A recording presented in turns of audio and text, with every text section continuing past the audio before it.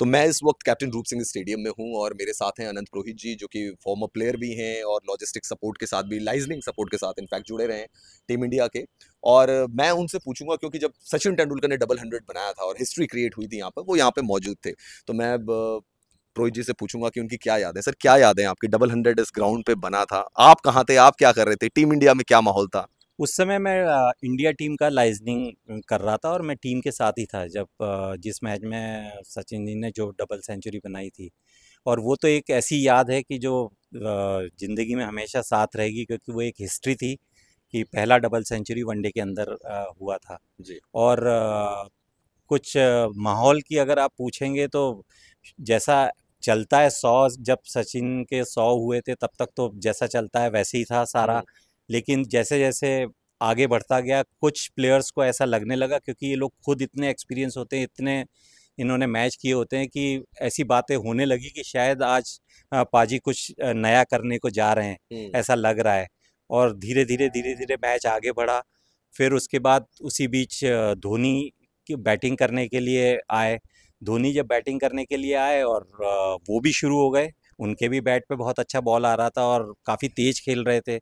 तो यहाँ हम देख रहे थे कि क्राउड में थोड़ा सा गुस्सा था क्राउड की सब सचिन के 200 देखना चाह रहे थे और सबको ये लग रहा था कि ये इनके वजह से धोनी की वजह से उसके 200 नहीं होंगे। लेकिन वो उनकी अंदर प्लानिंग थी जैसा बाद में जब वो लोग आए तब पता चला कि जैसा धोनी ने आकर बोला कि मेरे को डर लग रहा था क्योंकि मैं बॉल मार रहा था और वो बॉल पे मुझे सिंगल लेना था कहीं बाउंड्री ना हो जाए।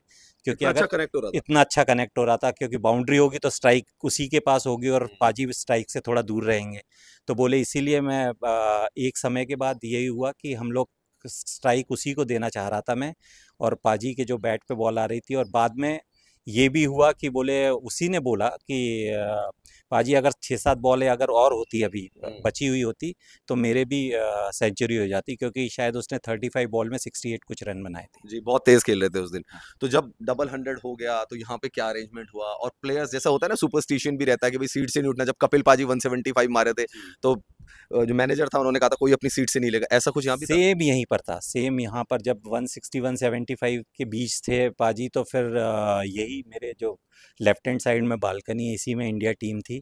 और सभी लोग बिल्कुल जो अंदर बैठे थे वो टीवी पे ही देख रहे थे जो बालकनी क्योंकि छोटी है तो वहाँ छः सात प्लेयर ही थे लेकिन जो पीछे चेयर पे खड़े हो गए थे वो चेयर पे ही खड़े थे। मैं पीछे था बिल्कुल तो मुझे मैच भी नहीं दिख रहा था ना मैं मैच मुझे दिख रहा था और ना मैं टीवी पे देख पा रहा था। पर अच्छा। मुझे भी इंस्ट्रक्शन थे कि वहीं खड़े रहोगे तो 200 होने के बाद मैंने बाहर आके क्लैप किया मैं भी वहीं खड़ा था। तो किसी को भी अलाउड ही नहीं था कि वो अपनी जगह से हिले। अच्छा मैन ऑफ़ द मैच जब तेंदुलकर को मिला था तो वो मैन ऑफ़ द मैच का जो चेक मिलता है उसका क्या हुआ था? जी जी वो चेक मैं भी लेना चाह रहा था इनफैक्ट क्योंकि एक एज ए सोविनियर में रखना चाह रहा था कि साइन करा के सचिन जी के लेकिन वो दिनेश कार्तिक ने जित करके और भी प्लेयर्स चाह रहे थे रखना। अच्छा। तो दिनेश जहाँ तक मुझे याद है दिनेश कार्तिक ने वो लिया था और उस पर पाजी से बड़े बड़े ऑटोग्राफ लेके वो अपने साथ लेकर गए थे। और जहाँ तक सेलिब्रेशन का आपने कहा कि यहाँ कोई ऐसा क्योंकि ड्रेसिंग रूम छोटा ड्रेसिंग रूम है तो यहाँ तो मतलब जितना होना था वही हुआ हाँ। लेकिन होटल के अंदर बहुत केक वगैरह अरेंजमेंट था और बहुत अच्छा सेलिब्रेशन हुआ जो आधी रात तक चलता रहा। क्राउड का क्या हाल था? क्योंकि हिस्ट्री क्रिएट हुई थी सचिन तेंदुलकर इतने बड़े खिलाड़ी गॉड ऑफ़ क्रिकेट वो जब यहाँ से निकले होंगे तो यहाँ पे क्या सिनेरियो था वो तो फिर बस निकलना मुश्किल ही था हाँ। और जैसा सभी को मालूम है कि पाजी का एक नंबर सीट ही रहता है। हाँ। जब भी जितना क्रिकेट खेले हैं वो वो एक नंबर सीट उनका होता है तो सबको वेव करते हुए गए। और यहाँ से होटल कोई ज़्यादा दूर नहीं था होटल तक तो बहुत ही बुरा हाल था बहुत क्राउड सड़कों पे था और इन्जॉयमेंट था मेनली सब लोग इन्जॉय कर रहे थे कि एक ना एक ग्वालियर के नाम से एक हिस्ट्री लिखी गई है तो आज भी अगर कहीं जाते हैं हम और बोलते हैं कि ग्वालियर से तो जो क्रिकेट से जुड़ा बंदा है अच्छा बोले जहाँ सचिन की और पहला डबल हंड्रेड डबल हंड्रेड हुआ तो ये हमारे सबके लिए एक जीवन भर के लिए प्राउड मूवमेंट है। अच्छा सर एक चीज़ और जानना चाहूँगा क्योंकि आप तो बहुत इंडिया के साथ भी जुड़े रहे वर्ल्ड कप का भी मैच खेला गया था 1996 वर्ल्ड कप का इंडिया वर्सेस वेस्ट इंडीज। उसकी क्या याद है? क्योंकि उसमें भी सचिन पाजी ने ज़बरदस्त इनिंग हाँ उसमें भी सचिन काफ़ी अच्छा खेल रहे थे। मुझे यहाँ तक याद है 77 वगैरह के आसपास हम अनफॉर्चुनेटली उसमें रन आउट हुए थे कामली के इसमें। और वो भी मैच इंडिया जीती थी। तो वो मैच भी मैं टीम के ही साथ था। और